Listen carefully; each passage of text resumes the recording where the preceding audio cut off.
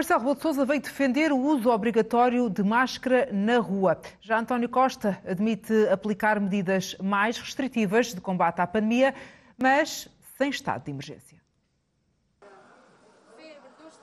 Há um aumento expressivo de novos casos de Covid-19 e se o ritmo se mantiver, os especialistas acreditam que no final deste mês Portugal tenha 3 mil pessoas infectadas por dia e na altura do Natal devemos chegar aos 3.300 casos diários de Covid-19.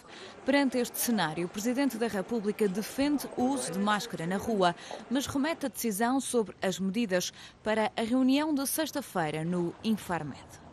Portanto, vamos ponderar calmamente, serenamente, temos uma vacinação que não tínhamos e depois se atuará em conformidade. Mas será possível contornar para impor restrições uh, sem, uh, sem estado de emergência? Vamos esperar, vamos esperar, vamos esperar. Por exemplo, da máscara nas ruas. Vamos, é isso, claro, isso é evidente. Há assim, coisas como o Sr. Primeiro-Ministro tem dito e muito bem. Apesar de em Portugal termos uma taxa de vacinação próxima de 90%, António Costa deixa um aviso.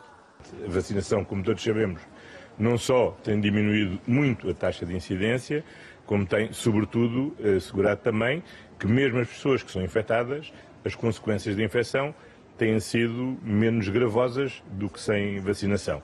Mas, obviamente, não podemos estar a descansar à sombra da vacinação e temos que ter cuidado.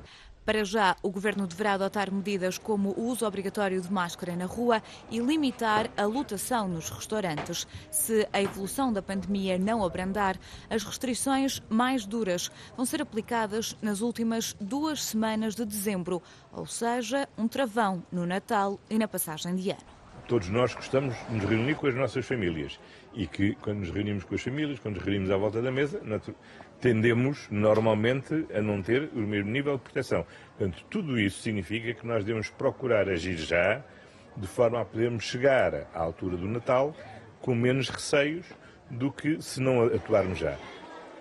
Além de travar a pandemia, o objetivo das medidas mais restritivas é garantir a realização da campanha eleitoral e das eleições legislativas em janeiro.